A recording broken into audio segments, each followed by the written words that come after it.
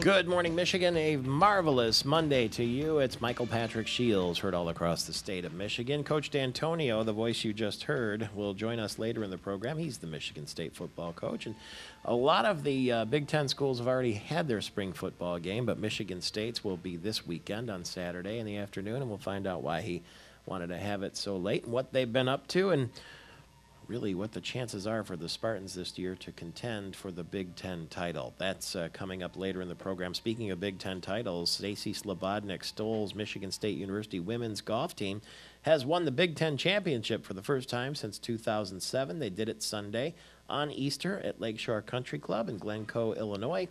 And uh, she'll be with us a little bit later in the program to explain how she did that. It's uh, eight minutes after the hour right now.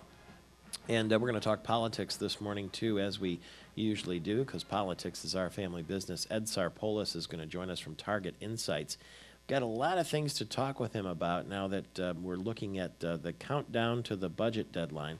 It's not really a deadline, it's a self imposed deadline that Governor Snyder has implemented. He wants everything to be done and finished by early June, but uh, not everything is nearly ironed out yet. I'm told there was a lot of action at the Capitol last week, late last week, in fact. But uh, Ed Sarpolus is with us right now from Target Insights. Good morning to you. Good morning to you, sir. Is it true there was a lot of movement uh, at the Capitol last week? well, if you consider sweeping the, the leaves, yes, probably. But well, there's a lot of stuff behind the scenes going on on the Yeah. budget and, and bills and legislation. But uh, but in essence, uh, that's primarily what's going on uh, down down there, trying to negotiate the budget. Um, let me let's go through some of these things if I can, and just sort of get your take. Um, the Associated Press, Tim Martin, kind of laid it all out here. Uh, this uh, budget uh, deadline that Rick Snyder's imposed. He wants it done by May 31st. Sometimes it's stretched all the way into October, and uh, but he wants it done early in dog years. Okay. Right, and so part of the process, people would presume that well, he's got a Republican House, he's got a Republican Senate. This ought to be easy, but it's not necessarily that easy, is it? No, it's not. Well, what's happening here is, is that, especially in the Senate more than the State House, they realize is that they have constituents back home that they have to go and saying, Yeah. here's what I did for you. Here's what I, the bacon I brought home. And under Governor Snyder's budget, there is no bacon to take home. It's an empty sack. And you know, as elect, elected official, Republican or Democrat, you're not going to go home and face the heat uh, to the voters that you depend upon for fundraising and for votes uh, uh, in the fall of November 12 or 14. Governor Snyder surely knows that, and uh, while he may not care about re- getting reelected, they do. The senators and representatives. Well, they do. The other thing is that you have a you have a mature uh base of senators, uh, returning senators, uh, the, the returning five Republicans: Senator Kahn, Senator Richardville, uh, Jansen, Pappageorge, and, and Mike Nofs. They've been around the block. You know, they understand that they've been elected to like the governor, and they have much. They were much more seasoned, and they understand what their belief of what their vision of Michigan would be. And many of them, if they had given opportunity, would have run for governor themselves. So they have their own opinions. They're not freshmen. They actually have beliefs of what they think the, the state of Michigan should be. Uh, the governor. Let's take education, K through 12 schools, for instance. He wants a per student reduction of $300. That's in addition to the $170 per student that was already in place when he took office. Uh, the uh, House and the Senate, I guess, are fairly close. They might want to temper that just a little bit. Who's going to win? Because the Democrats are saying they're going to send uh, those kind of cuts would put Michigan schools into insolvency. Well, they're, they're already seeing some of that already. It's, the, the state has already avoided trying to uh, take over some of the schools, trying to stretch that through. I would say you're probably going to come closer to the Senate version of not as having such deep cuts. Uh, you got to remember is, is you have a lot of parents out there. They're not necessarily uh, Democrats or labor or anything like that. They're just parents in schools and they're voters or, or senior citizens. You're going to see much more closer to uh, what the House and Senate do, maybe more leaning towards the Senate on, on these cuts in education because these are people who they have to face the parents, the kids, and you don't want your school back home closing uh, at all because that's, that's your pride and joy. Uh, let's talk about universities then. Also, the pride and joy. The uh, governor wants to cut uh, individual aid to individual universities by 15%. Some of them, like Eastern Michigan University, would be more like 20%. The Senate apparently agree- agrees, and uh, the uh, House is proposing some uh, 14%, for one less percent. Everybody's worried that uh, the uh, colleges would then just simply raise tuition, and that would be too expensive for some people. But there are penalties built in too if the, the colleges raise the tuition too much. Well, what's going to happen is is, is that uh, I would say K-12 uh, will have a priority of higher ed. They'll try to accommodate higher ed where they can. On the issue of uh, universities raising their tuition, they will they, will- they will do what makes good business sense. They'll attempt to live within the budget constraints provided by the governor uh, and the legislature. But in the end, especially the, the bigger universities like Michigan State, U of M, and who are are quite dependent on out-of-state students paying much more than our in-state students, they'll continue to take more out-of-state students uh, and basically reduce the number of students they take within the state. So in the end, it's going to come down to a business decision by the university. We're going to get a uh, four-year uh, dead uh, sort of limit, a deadline on welfare payments. Well, that's something we're still debating, and, and that's something was what quite surprised me in this one here. Um, uh, ex, uh, Gilda Jacobs has, has done a very good job uh, help the Human Services Division saying, "Hey, look at here. The, the more people you take off some of these uh, these benefits, the more you create unemployment. The more they, they become dependent on the state and other services." So I think there might be some accommodation. How much we don't know yet, because you got to remember, they're starting to eliminate some cuts, and you got to find out how you're going to pay for these cuts. So the question is, what's going to be the priority? Education, uh, aid to the, the people who are unemployed or the poor. We have yet to see that sorted out, and I think that's what you're beginning to see this week. Um, it seems, from what I'm reading here, the Senate and the House, uh, they don't seem to mind the uh, four-year limit, but they want even more reductions in some areas, and they also want, as you say, some leniency in certain cases. Um, retiree income taxes, that started off as a, a big slash for everyone, and the, uh, from what, it, what I could tell, the uh, governor sort of uh, thought twice about that based on the uh, recommendations of the House and the Senate. Well, well, first of all, there's no way, especially since senior votes, and you have a lot of senior citizens, especially in Republican districts, who do go out and vote. They're contributors. They're active in the party. There's no way that Republicans could go back home and tell their seniors their taxes are going to be raised. There might be some accommodation on some caps, or maybe one who pays what. I think in the end there might be some of that. Uh, but in the end, there's no way that uh, they, they could go back home and face the heat or, or the marchers that are coming to their districts. Um, one way or another, looks like uh, the business owners are going to get some sort of break. We'll talk about that when we get back with Ed Sarpolus from uh, Target Insights. Also, we're going to talk with Ed about the redistricting that's coming and whether or not this idea of a recall of Governor Snyder could have any legs. It's Michael Patrick Shields all across Michigan.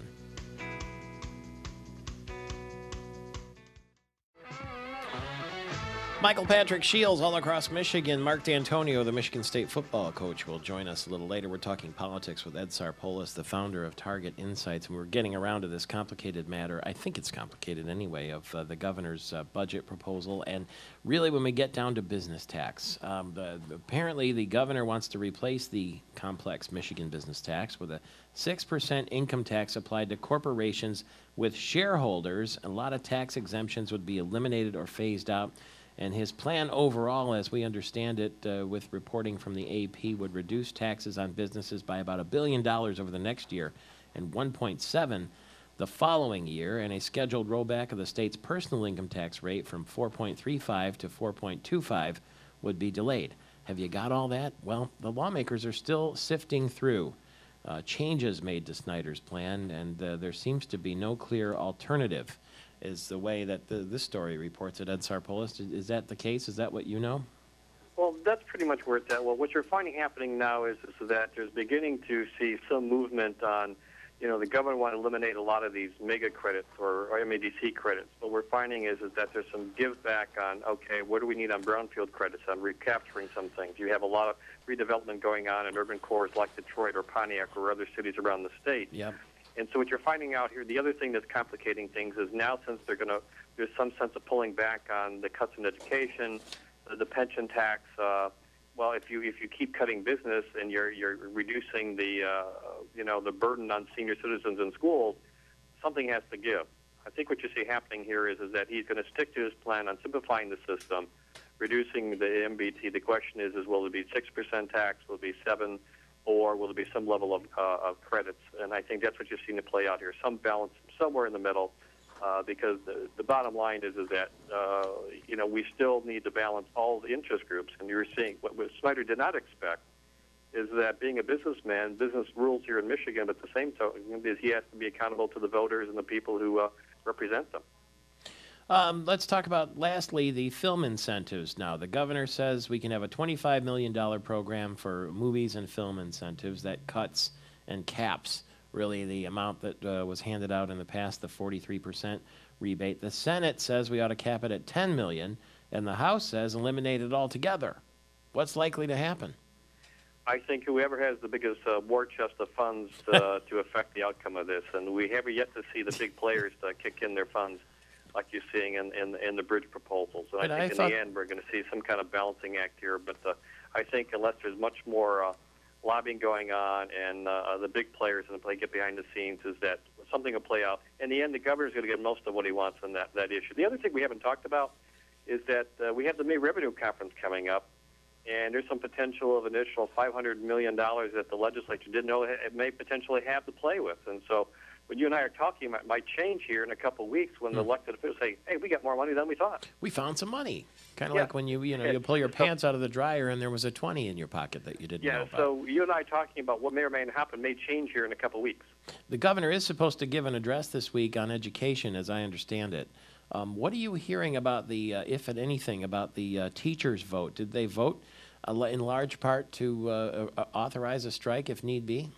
That is still unknown. There's Yeah. a mixed thing is, is you, you, what's going to come down is the teachers, you know, are very key about protecting their children in the classroom, doing their work, and that uh, the, the question of taking a strike would come down to is, is that uh, they really feel that the governor legislature is totally ignoring education, hurting the kids in the classroom, and impacting the quality of education. That's what they decide on the vote. And I don't know what the vote has is, but that's where the focus is going to be is what is good for kids in the classroom. That's how the teachers will have voted for a strike or not. There's a group called Michigan Citizens United, and they filed paperwork to approve the language to try to have a recall of Governor Snyder. What what chance do they have? I guess they got to get something like 806,000 valid signatures.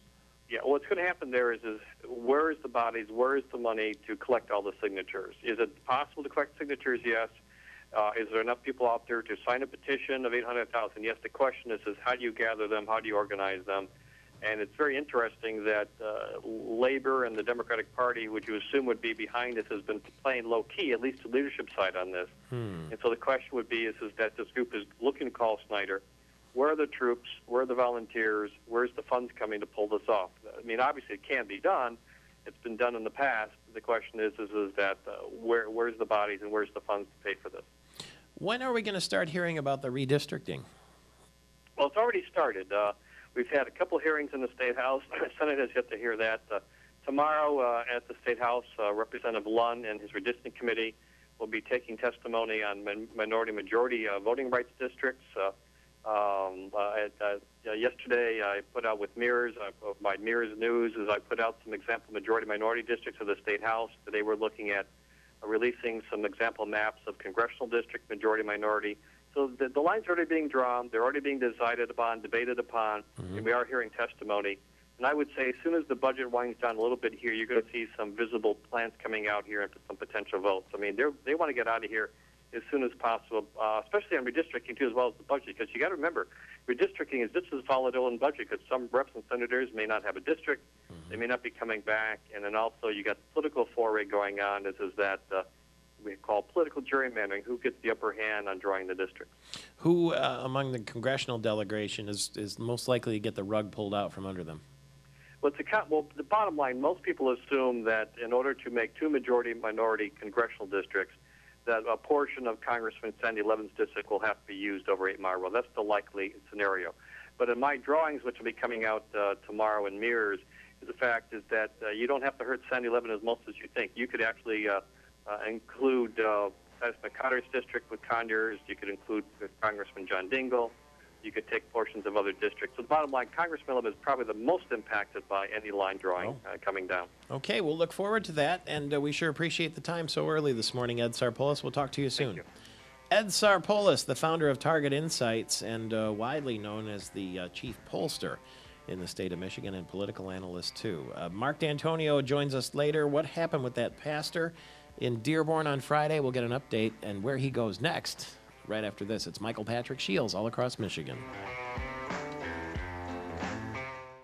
Gary Austin is our anchor man, and it's time for the Answer Man segment. I'm putting on the Answer Man hat right now. If you're watching on Fox 47 television, or if you're, uh, you can see it on YouTube or at MichiganTalkNetwork.com. It uh, provides me all the wisdom I need to fend off any of the questions from Gary Austin, the petitioner. Good morning to you, sir. Well, good morning. I'm going to do my best to stump you here. The Answer Man is brought to you by. L, AmericanMetalRoofs.com. And you can check out a terrific website. AmericanMetalRoofs.com is the website address, or you can call them 877 569 4700. Very good, sir. What is your question? Number Remember, one. I've never been wrong, not know, once. I, and as try as I might to stump you, I've, I fail. it's because my wisdom time. doesn't always come from the east. Sometimes it comes from part south. Wherever, and- it, wherever it comes, it's working for That it. MPS has an answer for everything. That's what they say. Okay, here we go. What is your question? Number one, officials at Missouri's Lambert St. Louis International Airport. They hope to get more flights in the air today. What happened over the past few days that caused such a such a fuss why at that big airport? There's no sun up in the sky, stormy weather. Yes, You like that? absolutely right. A that tornado Friday.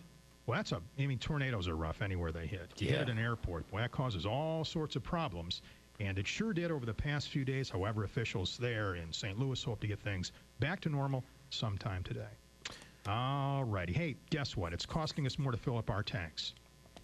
That's nothing. Mm-hmm. Now, the question I have for you is, on average, nationwide, what are we paying to fill up a, a tank in regular no Uh, it's right around 388, isn't it? You're absolutely not right around. You're right on target. Thank you very much. 388 is the exact number answer, man. You're two for two on this. Chicago's got it bad. They got the highest in the continental U.S. Hawaii's the highest overall. Monday. I tell you, it just keeps going up and up. Five Next question. by summertime is what we're told. All right, Donald Trump. Mm-hmm. He's turning to his Celebrity Apprentice contestants for what kind of advice? What kind of advice here? Is you is or is you ain't my baby? Should I run for president or not? Yes, he's asking for. Boy, he's really playing it out, isn't he? he sure That's is. something. But, but uh, could we expect any less from Donald Trump? Nah, he's a showman. And so is Gary Austin. So I've done it again perfectly unscathed this morning. And the answer man window is closed. Thank you, Gary Austin. Uh, we are going to talk about that pastor in Dearborn and whether or not he's still going to protest and how it's all going to shake out. There's a lawsuit involved now, too. That's coming in just a few minutes, right here with Michael Patrick Shields. It's a pure Michigan Monday all across the state of Michigan. Michael Patrick Shields with you here live in our American Metal Roof studio in the Gillespie Group Stadium District building, right across from the baseball stadium, just a couple blocks from the Capitol, where all the action is, but not always all the action. There was going to be some action, as I understood it. That was going to be Friday, Good Friday.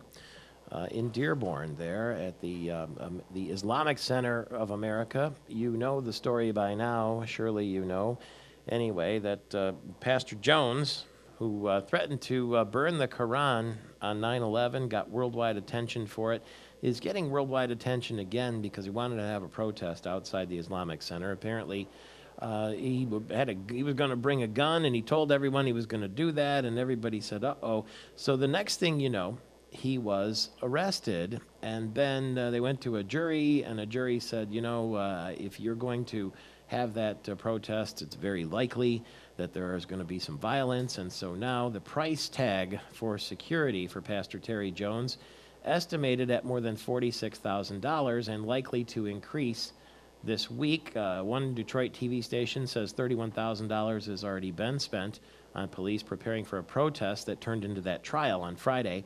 And uh, so, where do we go from here? He says he's going to sue.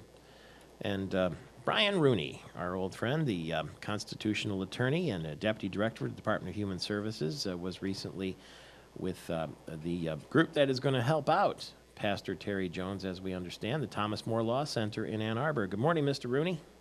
Good morning, Michael Patrick. How are you? Okay, did I summarize that fairly well? That uh, he wanted to have the protest and the city kind of shut him down. And uh, I mean, where do we go from here? What happened? Said uh, I'm no longer with the Thomas More Law Center, but if they in fact are going to represent him, then they'll most likely the first thing they'll do is file a complaint in uh, the Eastern District of Michigan Federal Court on First Amendment grounds, and um, then uh, the city will have to respond, and we'll go from there. And then a federal district judge will will make a decision one way or the other. Apparently, he's going to stage a protest this Friday now. It's going to be at Dearborn City Hall, though, instead of at the Islamic Center of America. What's the what's the distinction? Why why would he do that instead of going ahead with his plan to go to the Islamic Center? Do you know, or what what do you speculate? That makes a little more sense in the sense that, uh, you know, private property, you don't have a right to protest there. No, you know, that's there's private property rights, but there are things known as traditional public forum, whether they're um, public sidewalks or city halls um, that people have traditionally been allowed to speak freely at, public parks, those sorts of things. Cities can put, cities, towns, counties can put, you know, reasonable time, place, restriction, manner restrictions on them, but uh, typically you can't in traditional public forums where you know people have always been allowed to speak publicly and freely. And so I imagine moving from the uh, religious center to, which is probably private property, to a public property place is uh, why he's doing it. Not nearly as sensational, though, is it? Oh no, but you know this guy obviously goes after the sensational headlines, and so the the the press likes to follow him, and I'm sure they'll follow him there too. He says that he was arrested for something he hadn't done, and he finds that outrageous, and that's why he's gone to the Thomas More Law Center for a, a possible lawsuit, as you mentioned, on First Amendment grounds. I mean, he he may have a case there, mightn't he? Yeah, you know, if he was in fact arrested for, you know, thinking about going to the Islamic Center, that's, you know, not something you're supposed to be able to arrest somebody on. Uh, and the jury saying that he might have caused a disruption is not what our constitution, our constitutional uh, framework's all about. I mean, you know, if we had juries deciding whether somebody's going to cause a, a, a ruckus or not, then none of Martin Luther King's junior marches in the South or in the North even would have been allowed to happen. But thank God they did. Well, we'll see what happens next. I guess there, uh, obviously we're going to have a potential lawsuit, and he's going to try it at the uh, at the uh, Dearborn City Hall instead of the Islamic Center. But um, one thing is, you're right. He's got our attention, and we're curious to see what happens next. And so we appreciate you taking the call. Congratulations on the new gig, by the way, appointed by the governor, as I understand, deputy director of the Department of Human Services. Yeah, yeah. Thank you very much. It's very exciting to be part of reforming welfare in Michigan. Well, the one time candidate uh, for Congress, now uh, working for Governor Snyder here in the state capitol, and uh, his efforts will have an effect all across the state. Travel safely, and we'll talk to you soon. All right, thank you, Michael Patrick. Brian Rooney, I, I you know I should have asked him what's the deal this weekend with the uh, NFL draft and the Steelers, and is there going to be a season next year and all that sort of thing. But we'll leave that for another time because it's another topic, and I don't want to surprise him there. As you know, he's a board member of the Pittsburgh Steelers, and his family owns the Steelers, the famous Rooney family. And uh, so Brian Rooney, be curious to see. Now the NFL lockout is still going on, so they're going to have a draft anyway. And as I understand it, you can't negotiate with the players before the draft, or I think even after the draft, because of the lockout situation. Let's hope they get that settled. I wouldn't want to be without the NFL this year, would you? Governor Snyder, speaking of him, his second floor Romney building office is getting refitted with new bulletproof glass. I guess they just uh, thought the seals were kind of giving way around the old glass, and so uh, they're going to be replacing two windows facing Capitol Avenue and three overlooking Michigan Avenue. A lot of people think the governor's office is in the Capitol building. He's got a ceremonial office there, but his real office is across the street. So it's going to cost $38,000, apparently, to uh, fix up these windows for him so he's safe and sound there in, the, uh, in his office building. There is a uh, lone Republican in the Hawaii State Senate. Pretty sensational stuff here. Uh, You know, the question about whether President Obama was born in Hawaii, born in the United States, Donald Trump saying, why won't he show his birth certificate? Instead, he shows a certificate of live birth. Well, this uh, state senator says the real issue, the real reason President Obama doesn't want to release his long form birth certificate is because he's got something to hide, and that is the name of his actual birth father. And uh, he says uh, Obama was probably born in Hawaii, but the real issue is not the birth certificate, but what's on it. And it could have to do with the name on the birth certificate, who is actually listed as the father, and the citizenship of the father. And uh, he, he, too, like Donald Trump, can't understand why he would want to keep the um, birth certificate hidden, and maybe that's why. Um, gas prices, as you heard earlier, continue uh, to spiral, but uh, Trilby Lundberg, the uh, survey editor, says we may have peaked. We may have peaked because there's a decrease in demand for gas now as people are being a little choosier about where they drive, and there's a slow in the rise of crude oil prices. So maybe all that talk you've been seeing, that scare, scary talk about five and six dollars a gallon, maybe that won't come to fruition. Stay tuned for more. Holland man locked up. He was arrested twice in the same night. Uh, they picked up uh, Fu Van Mai was his name. He was on an outstanding warrant. He pretended he was sick, and the officer rolled down the window in the car so he could get some air, and he jumped out through the window and ran off. So they had to catch him again and charge him with escape. And a woman couldn't help herself. She loved shoes so much in Kalamazoo that she uh, broke into a business. And police said, Hey, what's that door doing open at this hour? And a 46 year old ran out with a big bag of shoes. She tried to escape on a bicycle. She's going to be charged with breaking and entering. And remember, Imelda Marcos had something like 4,000 pairs of shoes, and this lady had a bag full and was trying to make a getaway. The sports story is coming next. It's Michael Patrick Shields all across Michigan. Michael Patrick Shields with you all across Michigan this morning. A man with a knife has tried to hijack an Alitalia flight from Paris to Rome. It happened last night while you slept uh, demanding to be flown to Libya. He was quickly overpowered and arrested, and the plane landed, according to uh, witnesses and officials. Thanks to the prompt intervention of attendants, the aggressor was immobilized, kept in his seat, and the flight continued on to Rome. They say he pulled out a small knife, and some people are saying that it was actually a nail clipper to the throat of a female flight attendant and held her for a few minutes and uh, they didn't identify the passenger. Italian media, though, says he's a 48 year old citizen of Kazakhstan who worked in Paris. All 131 passengers aboard the plane disembarked safely in Rome. And did he have a, a knife or did he have a nail clipper? Is the, is the uh, sort of question there. A lot of people were probably nervous, probably praying, and there's a new study. They uh, polled 18,829 people. Reuters did asking them if they believe in God. This was across 23 countries, by the way. And uh, 51% of people believe in a divine entity, 18% don't, 17% are undecided. And the uh, places that have the highest proportion of people with a definitive belief in God Indonesia, Turkey, and Brazil. Uh, only 10% of Russians believe in God, according to this poll. It is uh, 14 now before the hour. Michael Patrick Shields heard all across the state of Michigan. We are in our uh, American Metal Roof studio in the Gillespie Group Stadium District building, just a couple blocks from the Capitol, right here on the Avenue of Michigan. And Pat Gillespie, the guy who created this building and create lots of other cool buildings in Detroit, I mean, in uh, Lansing and plans for more, even still, is on the other end of our line right now. Good morning to you. Good morning, Michael Patrick. How are you? Good. I was uh, thinking of you yesterday when I saw this Associated Press story in the Detroit News about uh, urban development experts and local officials trying to preserve the brownfield credits in Michigan. And it occurred to me that you might be one of them. Uh, first of all, what's a brownfield credit? And number two, uh, are you worried that uh, some of those credits could go away? Well, yeah. First of all, we are worried. The, the governor has said that uh, most of them, if not all of them, are going to go away.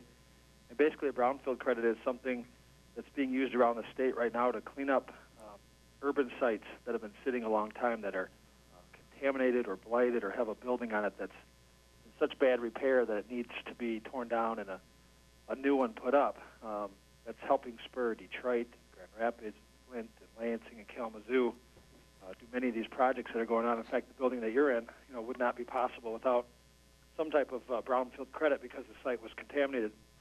Um, you know, I'm talking to developers around the state that they're basically going into shutdown because they don't know what's going to happen, and these uh, this urban stuff's really going to come to a slowdown or a stop unless this gets uh, you know, reapproved to continue to use these tools.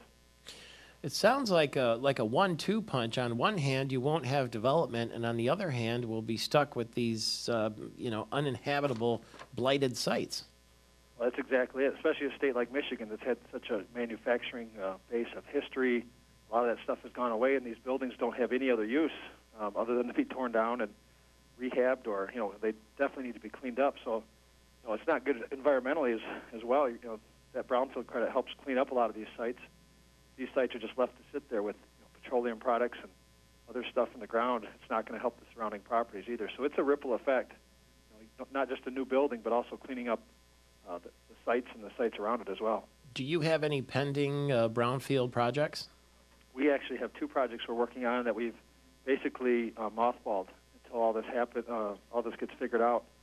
And right now, it's it's not looking real good. So I know other developers around the state are also basically at a standstill. So a lot of the momentum that's been happening over the last five years has really come to a screeching halt. It's it's kind of scary because Michigan was on a little bit of a roll as far as this um, urban redevelopment. Uh, was the accident fund a brownfield project? Yeah, I mean, just look around Lansing. If you know Lansing, in the last five years, there's been the accident fund, uh, motor wheel lofts, Prudden lofts, Mhm. Stadium District, uh, the Arbaugh Building, Christman's new headquarters, and not one of those would have happened without these credits. Skyline would look dramatically different. So it's a very important credit um, for developers to just to have a chance to uh, get them going financially. Do you get the sense that uh, you're being heard in the governor's office, you and the others who want to protect some of these uh, brownfield tax credits?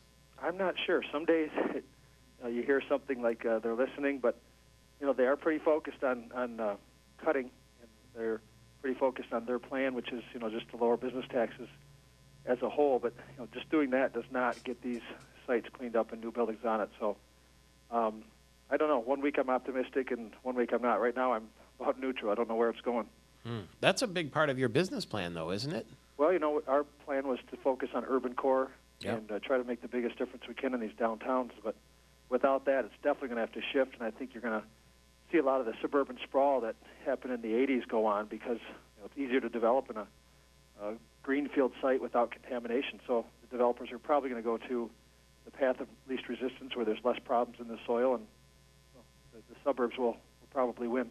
Hmm. That way, I've heard uh, Mayor Bernero talk a number of times about the hole in the donut, and uh, that's sort of what you're talking about. That people go f- head for the exits and leave the cities in disarray. That's exactly what will happen.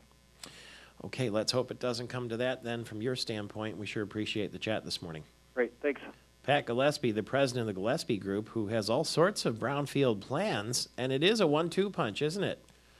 We'll still have contaminated sites uh, with nothing on them, but all it takes is money. Uh, we will talk with uh, Michigan State football coach Mark Dantonio coming up later in the program, and Stacy Slobodnik Stoll, who is the coach of the uh, Michigan State women's basketball team.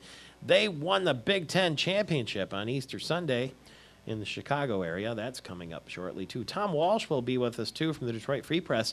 He is a big advocate of uh, moving in, get, in, getting cities going, and Blue Cross Blue Shield of Michigan is one example. They're moving new people into Lansing. They're moving people into downtown Detroit, and of course Grand Rapids too. So stay tuned for all that. The full sports story. Well, there's a new number one ranked golfer in the world. We'll tell you who that is and how the Tigers do over the weekend. Stay tuned. It's Michael Patrick Shields. Welcome to your Monday. It's a uh, pure Michigan Monday. We're live here in our American Metal Roofs studio. You can find them at AmericanMetalRoofs.com, and you can find Pure Michigan, well, everywhere you're listening to me in the state of Michigan right now. The Detroit Lions, you know, they're going to have an NFL draft this week, Thursday and Friday. And uh, even though there's a work stoppage in the NFL, they're still going to have the draft. And the Lions are not going to draft a quarterback. Uh, they say they don't need to. They've got Matthew Stafford. Now, Matthew Stafford, the big money guy that they drafted a couple of seasons ago, missed more games than he's played. Missed 19, played 13. But the Lions have confidence. His injury problems are behind him. Let's hope so. And they feel confident with him leading the franchise into next season. And here's what uh, Martin Mayhew, the Lions general manager, says, quote, I'm putting all my eggs into the Matthew Stafford, Shaun Hill, Drew Stanton basket.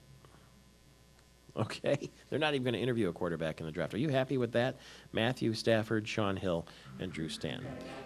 Rich Kincaid. We don't know how often we're going to hear that song, if at all. But the draft will be this week. Rich Kincaid is covering the Tigers all weekend. How did they fare against the Chicago White Sox, Rich? Max Scherzer, the story for the Tigers yesterday, Michael Patrick, as Detroit completed a three-game weekend sweep of the Chicago White Sox with their second consecutive shutout, 3-0 over the White Sox. Scherzer working eight innings of four-hit ball. The Tigers, since they started the season three and seven, there was great wailing and gnashing of teeth as they were at that point on pace to lose 113 games. And I know I was one of the people doing the gnashing and the wailing. They've really turned things around. Since that start, the Tigers have gone eight and three. In the weekend series against Chicago, the Tigers outscored the White Sox 21 to 3. They're on a roll right now. They're off today. They open a three-game series against Seattle at Comerica Park on Tuesday, then a weekend showdown against the Central Division leading Cleveland Indians in Cleveland. Yesterday, the Tigers over the White Sox 3 0 at Comerica Park. I'm Rich Kincaid. Back to you, Michael Patrick. Lee Westwood is the new number one ranked player in the world. Luke Donald went to a playoff at uh, Hilton Head Island against Brandt Snedeker and lost on the third playoff hole, so that cost Luke Donald the number one spot and the tournament, of course. And that may have been the last ever Harbour Town tournament. Michael Patrick Shields all across Michigan. Good morning, Michigan. A very marvelous Monday to you. It's a pure Michigan Monday here in the American Metal Roof Studio in the Gillespie Group Stadium District building, just down the street from Governor Snyder's office. And his second floor Romney Building office is getting refitted with new bulletproof windows. Now, don't get carried away. It's not because there's any special threat to the governor, it's just that apparently the seals around the old glass are getting kind of old. Uh, those windows were put in back in 1989. They are bulletproof as it is, but it's going to be a $38,000 job to replace those five windows, two of them facing Capitol Avenue and three overlooking Michigan Avenue. There are some people taking shots at the governor, not literally, but it's a group called Michigan Citizens United. They filed uh, paperwork across Washtenaw County. They want to recall Governor Snyder. Now, it's not going to be very easy. First of all, they have to get the language approved and then they have to get 806,522 signatures just to put it to a vote. And they want to get more than a million, and they want to start collecting on May 8th, but it's a huge, huge task for somebody to be able to do that, and uh, it costs money too because you got to hire petition circulators and all that sort of thing. So, what'll happen next? I don't know. They're riled up uh, because uh, they say the emergency financial manager legislation signed by Snyder that gives managers the power to void union contracts is uh, not right, and uh, they want to recall the governor. Now, the governor's got his own work, uh, obviously sitting on his desk. He wants to get the budget solved by the very end of May. And uh, earlier this morning, I asked Ed Sarpolus, the founder of Target Insyght, it, it's not easy, is it, Ed? I mean, even though the governor has a Republican House and a Republican Senate, and he's a Republican, some people might look at the math on that and say, how can the budget be complicated? After all, they're going to cut money to K through 12 schools and universities, and they're going to cut welfare and cut community colleges, and they're going to try to find some savings in the prisons, and they're going to maybe tax some of the income on retirees, and we're going to change the business tax though, so uh, business people spend less, and then you got the film incentives to deal with. But you would think everybody would say, "Oh, he's a Republican, we're a Republican, kumbaya." It doesn't work that way, does it, Ed?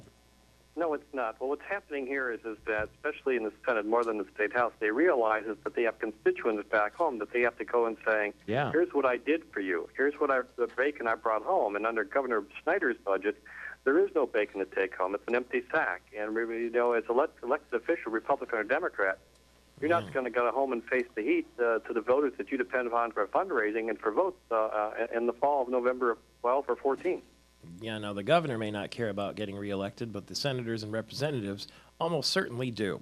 Um, uh, one of the uh, other areas that seems like it's due to be cut are the brownfield credits. And so urban and development experts and local officials are trying to preserve key elements of what they consider uh, the most important economic program in rebuilding Michigan cities a tax credit that redevelops areas that at one time were con- uh, shuttered factories, old industrial sites, blights, places that you look at and say, wow, that looks awful. And many times it's contaminated as well. But uh, there may be a cut of brownfield credits where they give somebody who's willing to develop that site a tax break. Pat Gillespie is one of those people. In fact, the building we're sitting in right now in the Gillespie Group Stadium District building was a brownfield project. It wouldn't exist if it weren't for those tax credits, and he's got a couple of more. And I talked with him earlier and, and asked him if he was worried about the potential of these cuts to the brownfield credits. Well, yeah. First of all, we are worried. The, the governor has said that uh, most of them, if not all of them, are going to go away.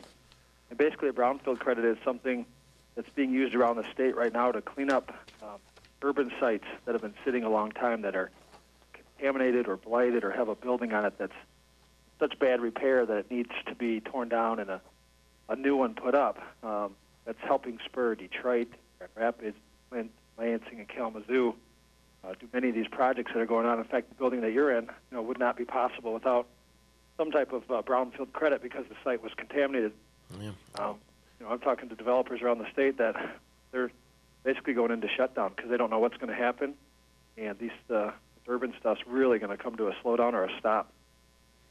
All it takes is money. 11 minutes after the hour, Michael Patrick Shields, the uh, Florida pastor Terry Jones, and the controversy. He's the one that wanted to burn the Koran on 9 11, and it caused all sorts of trouble worldwide, especially through the Muslim world. And he wanted to protest on Good Friday at the Islamic Center in Dearborn. And he was setting up to do that and was arrested. And then there was a jury trial that said he was going to create a breach of the peace if he protested outside the Islamic Center. And he's saying, wait a minute, how can I be arrested for something I didn't do? I was thinking about doing. And uh, so he is probably going to sue. And, and the group that's going to help him is the Thomas More Law Center uh, out of Ann Arbor. And Brian Rooney, we spoke to earlier this morning, used to work for the Thomas More Law Center. And I asked him, uh, we, you know, he may have a case here, Pastor Jones. What happened? And this is what Brian Rooney told me. We'll get back to uh, Brian Rooney a little bit later. Apparently, that tape's not working. Uh, the uh, what he did say though is that he might have a case, and uh, how you go and arrest someone for something they were just thinking about doesn't really make sense. Uh, so stay tuned for that. Also, uh, earlier this morning, we got a chance to tell you that Rich Rodriguez is saying maybe coming to Michigan was a mistake. Former Michigan football coach uh, apparently uh, is sort of getting nostalgic, and he says, At the time I was looking to do some things, the opportunity was there, and I made the move, but now it's easy to go back and say, gee, I made a mistake. We had a good thing going at West Virginia. We really enjoyed it, and when you look back, it wasn't the best move, but that's easy to say now. That's what Rich Rodriguez is saying about his situation. By the way, Brady, these guys are all getting nostalgic because Brady Hoke spent part of his weekend observing one of his former, former teams. He went down to Muncie, Indiana, and attended the spring game at Ball State. And uh, was a team that uh, Brady Hoke, when he was coaching them, long before he came here to Michigan, had its best season ever.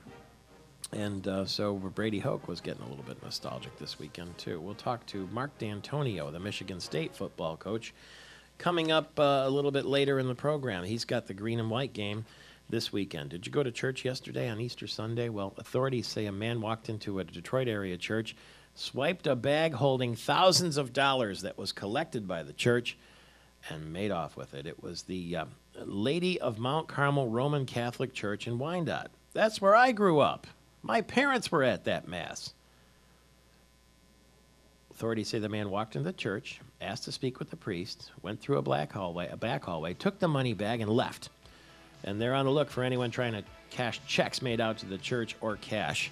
And they're going to release a sketch of the dirty scoundrel that went into the place where I was baptized, and the place where I got first communion and confirmation, and swiped a bag of money on Easter Sunday.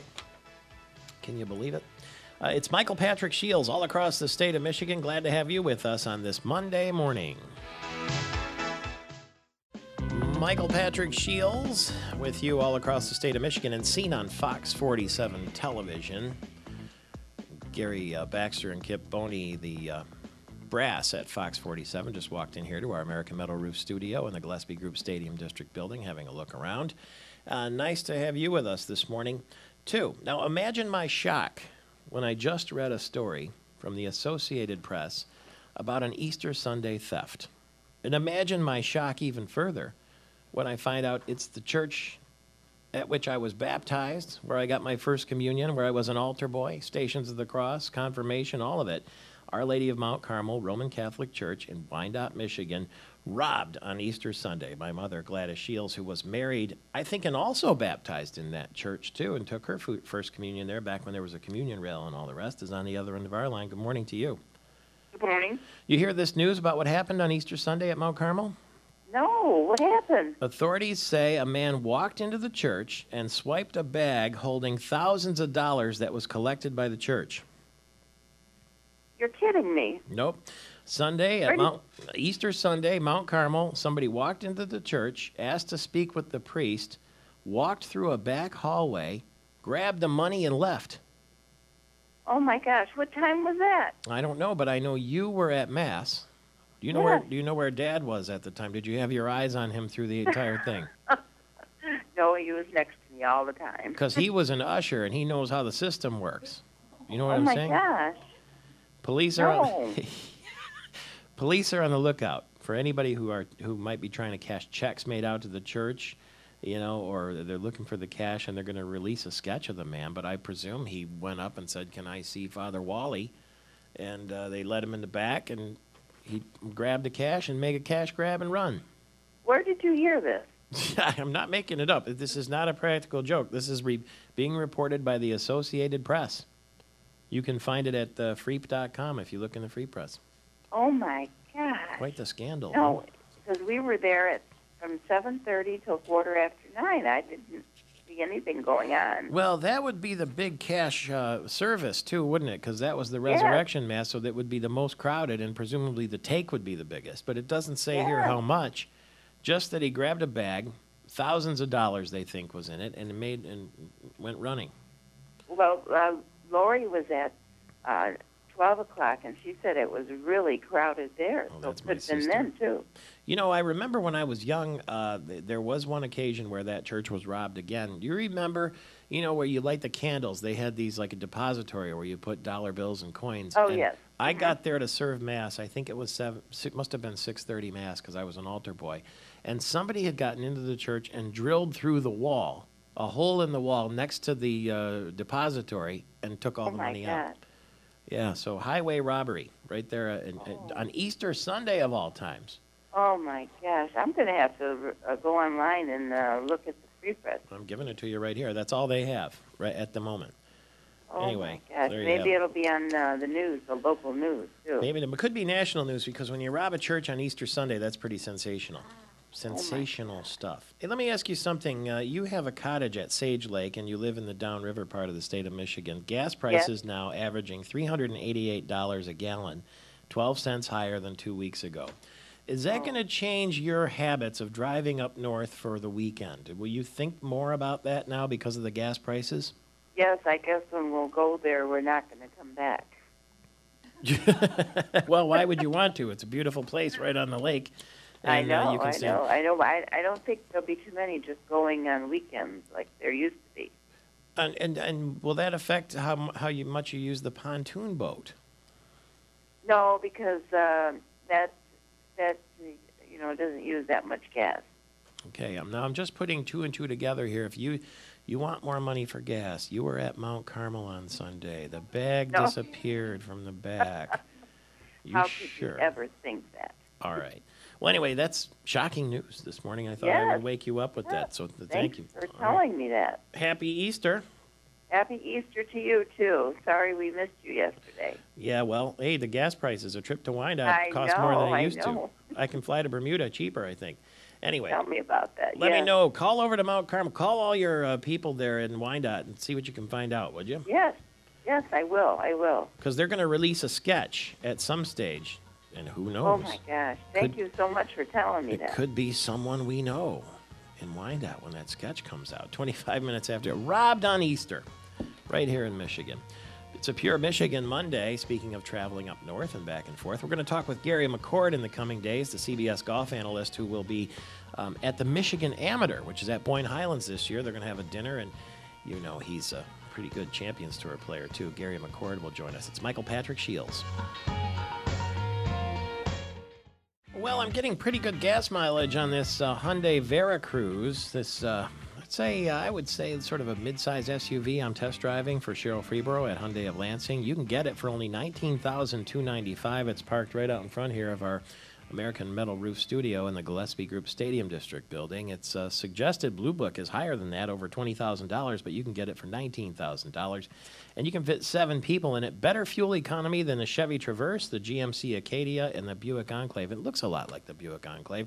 So I'm test driving it, and if you want it, they'll deliver it to you anywhere in the state of Michigan. That's uh, Hyundai of Lansing with Cheryl Freeborough. Gary Austin. Uh, looks like Jimmy Carter, the former president, is going to North Korea, and he wants to meet with Kim Jong Il, and he's upset about the severe food shortages, and he wants to talk more about uh, nuclear disarmament. You think he'll be successful?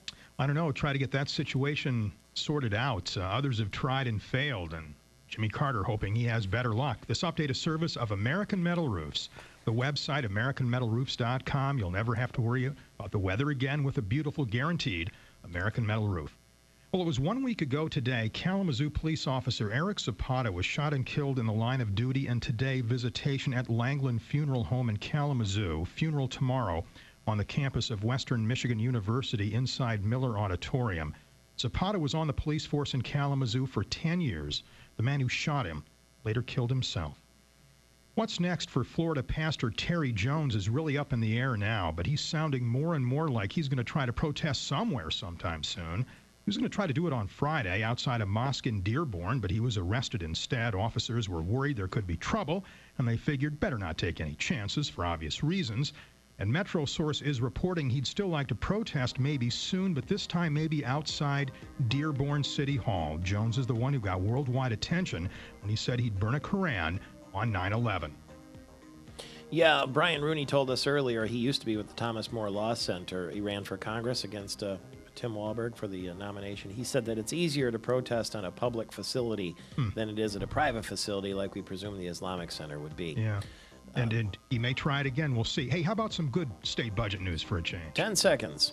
March income tax collections have been tabbed, and come to find out, over that time, $500 million was generated more than the experts expected. Hey, that's like finding a $20 bill in your laundry. Terrific. It's Michael Patrick Shield. Well, we have a new number one player uh, in the world, and it was um, Luke Donald here stateside at Harbour Town at the uh, Hilton Head tournament, the Heritage Classic.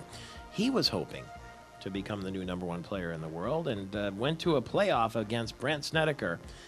And uh, on the third playoff hole, lost to Brandt Snedeker, who puts on that uh, tartan jacket that they give for winning the Heritage Classic.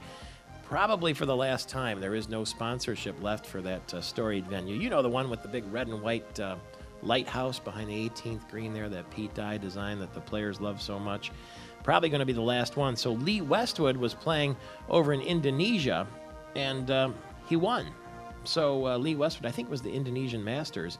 Lee Westwood, the Englishman, is now number one. He supplants the German Martin Kaymer atop the uh, world rankings. So congratulations to Brandt Snedeker. We will be broadcasting live from the World Golf Hall of Fame inductions with Jim Nantz from CBS.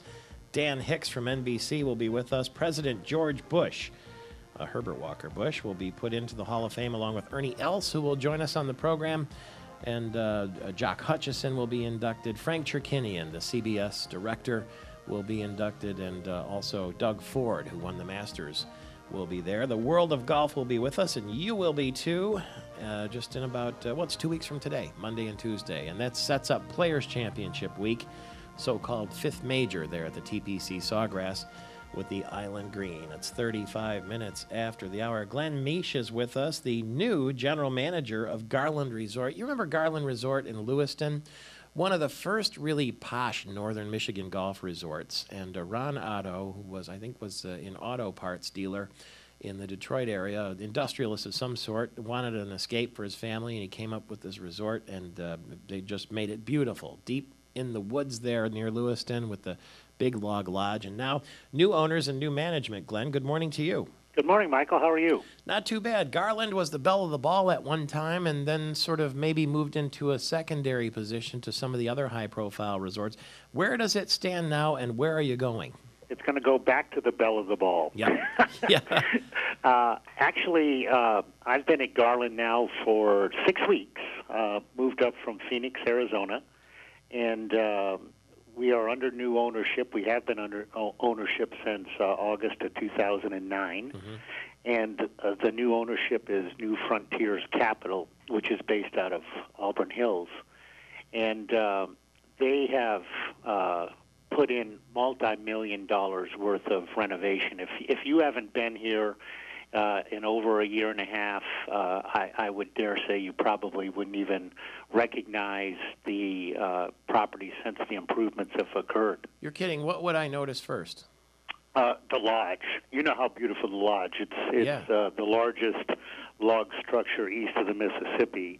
And as you come in, you know many of the trees have been taken down so that you can you can see the lodge as you as you come in the entrance. But on the inside, all of the lobby, the restaurant, the lounge, everything has been totally renovated with more windows, more light. It's it's really spectacular. You always had a good nightlife in there, I thought, didn't you? Yes, the nightlife is uh, is is always going to be good at Garland, and as we begin to kick off the season on April 29th, this Friday, will be our first weekend of opening. Uh, we'll go right back into the daytime as well as the, the nightlife, and people who can come to Garland. You know, we want couples, we want uh, golfers, but we also want people who can come up and enjoy the outdoors. And with the gasoline prices the way they are now, the one good thing about uh, Garland is you can come up and it's self-contained. Yes. So you can park your car and you can enjoy as much time as you want and never really get back in the car again. Uh, let me ask you this: uh, You didn't mind giving up the oppressive heat of Arizona to come to Northern Michigan? Well, actually, uh, it was it was very interesting because it was just getting into the oppressive side. So now we came up into the all of the snow, and uh, I'm originally from Syracuse, New York, and my wife's from Medicine Hat, Alberta. So it's not like we're not used to the snow. okay, I got you. But still, we would like to get rid of the April showers and bring on the May flowers because it's been a long winter here in Michigan. Absolutely. And actually, uh, I had a small uh, bet with our director of grounds whether uh, the snow would be totally gone by yesterday or today. And I believe I'm going to win that small bet because there's a little, little bit of snow left in the parking lot, but all the golf courses are completely uh, clear. And actually, we came out smelling very, very good from all of the uh, tough winter we had here. Are uh, couples and um, uh, is that your niche? Really, it's kind of a romantic golf resort, if there can be such a thing. You know, I think what happened, Michael, is we we ended up going from what you said, the posh property, to where we had uh, the majority of our uh, golfers were were males who came up, and and they still will be. They they love to come up in groups. But one of the misunderstood, uh, I think, uh, perceptions of, of Garland is it is a very, very romantic property.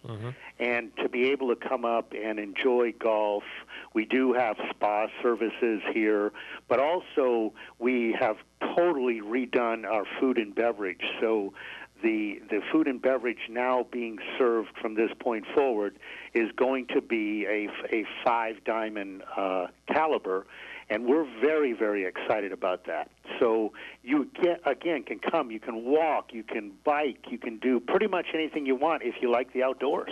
What would your uh, price point be for 18 holes, average?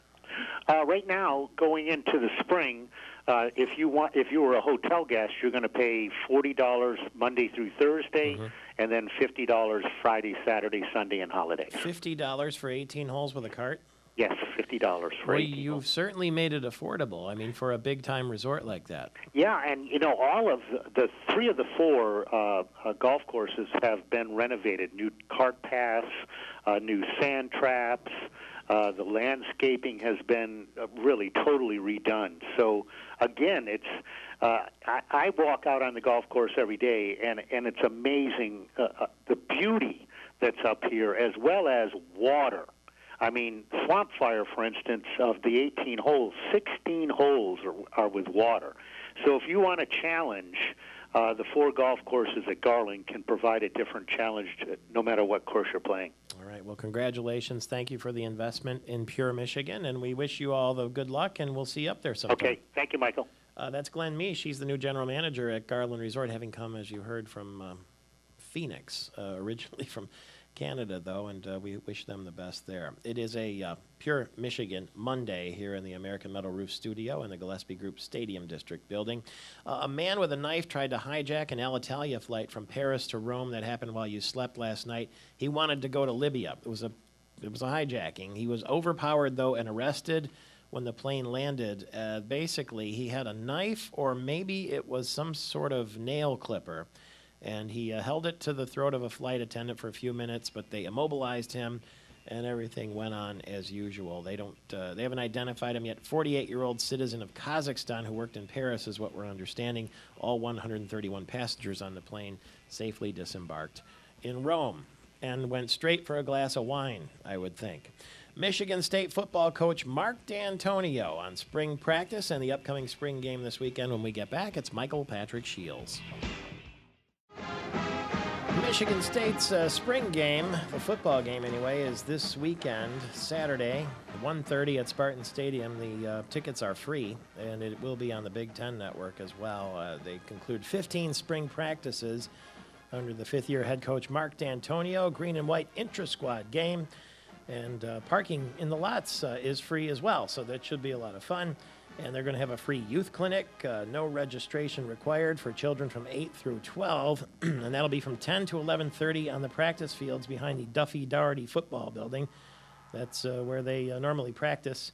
Be kind of fun to take your kids there because you get an inside look at where the Spartans work out and practice. Nobody usually gets to see that.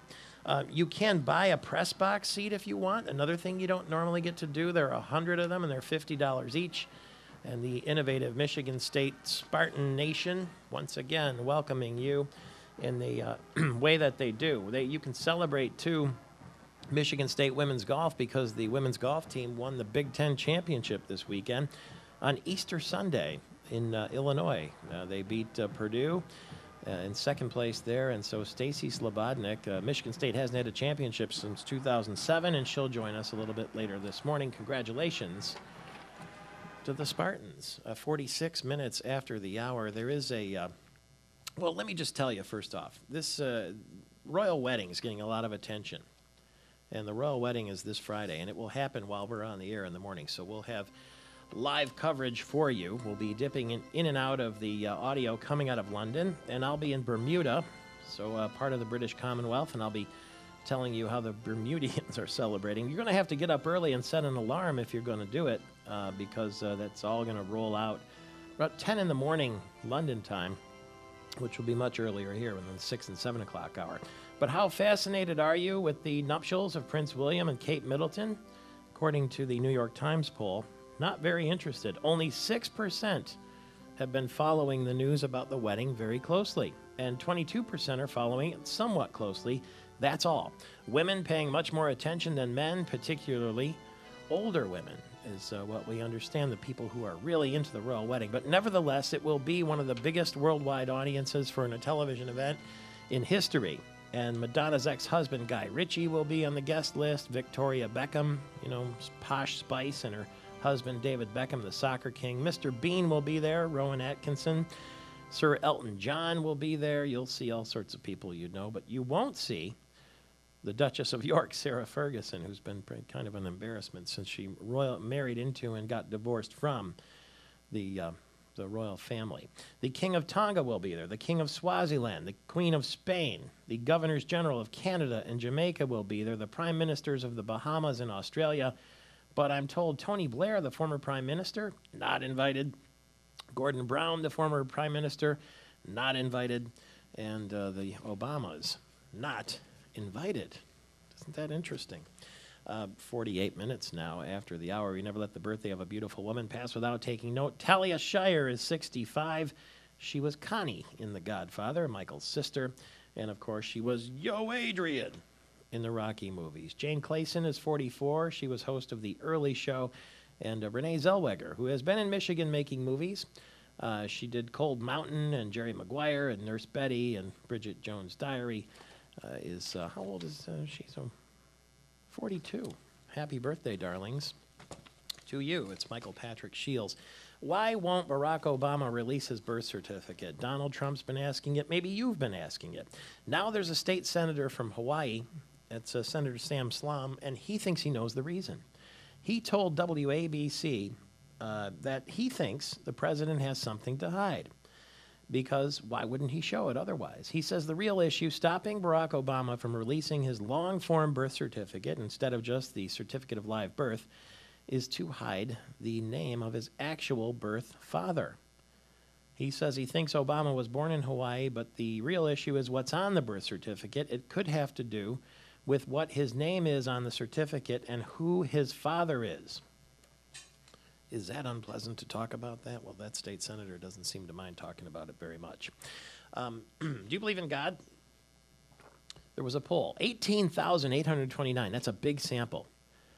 18,000 people, almost 19 over 23 countries were polled. 51% said they're convinced there's an afterlife. 18% said no way, there is no God, and 17% were undecided. The countries that were the most devout, the most definitive belief in God Indonesia, Turkey, and Brazil.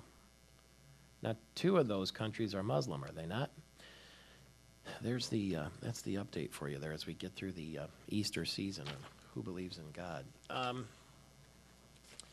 boy, oh boy, Michigan State University's in the news a lot this morning. Kyle Martin is riding his bike from California all the way to Charleston, South Carolina. He wants to raise money for Haiti. He's hoping to raise fifty thousand dollars for a medical clinic in Haiti. And uh, how would you like to do this? It's a three thousand mile trip and he was in the Colorado Rockies. He was riding up at 10,200 feet through Lizard Head Pass. I want to know how you get up to 10,200 feet on a bike because that cannot be easy. So we're going to touch base with him along the way there. They're looking for donations and they're looking for places that he can stay along the way so it's a little more affordable and they can raise more money for the charity. But congratulations to them. Wall Street back in action after a three day holiday. Earnings reports expected to be released by 180 blue chip companies. So this could be a big week for the market. All three major indices closed higher last week. The Dow was up uh, one and a half percent, the Nasdaq two percent, the S and P up 1.3. It was the first higher week of trading in almost a month. And let's hope that's a positive trend. We're going to get you the full sports story, what's going on, and uh, perhaps we'll talk with Mark Dantonio. He's uh, due to call us any moment, so stay tuned. It's Michael Patrick Shields, all across Michigan.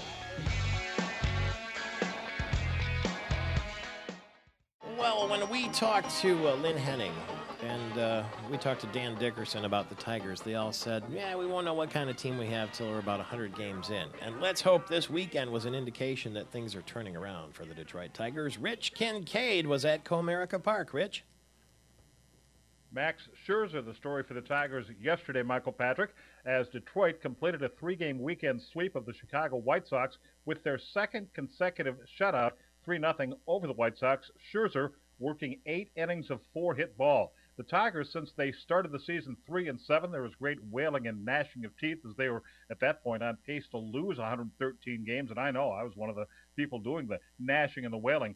They've really turned Yeah. things around. Great. Since that start, the Tigers have gone eight and three. In the weekend series against Chicago, the Tigers outscored the White Sox 21 to 3. They're on a roll right now. They're off today. They open a three-game series against Seattle at Comerica Park on Tuesday, then a weekend showdown against the Central Division leading Cleveland Indians in Cleveland. Yesterday, the Tigers over the White Sox 3-0 at Comerica Park. I'm Rich Kincaid. Back to you, Michael Patrick. All right, the NFL draft coming Thursday and Friday, but will there be a season? We don't know. Uh, one thing we know for sure is the Lions are not talking to any quarterbacks, and they will not draft any quarterbacks, even in the late rounds. Uh, the general manager Martin Mayhew said, "quote I'm putting all my eggs in the Matthew Stafford, Shaun Hill, Drew Stanton basket." Are you happy with that? I guess we'll wait and see. Uh, the uh, Celtics have eliminated the Knicks in the NBA. The Nashville Predators won their first ever postseason series in franchise history with a 4 2 win over the Ducks. And uh, Chicago, the Stanley Cup champ, averted being eliminated with a 4 3 victory over Vancouver. Game 7 tomorrow night in Western Canada. Television viewers, thanks for being with us this morning. Radio listeners, stay right where you are. Next hour, we'll have more of your Pure Michigan Monday. And if you're watching on television in Lansing, tune to 1240 a.m. right now to catch us on the radio for the rest of the morning. It's Michael Patrick Shields.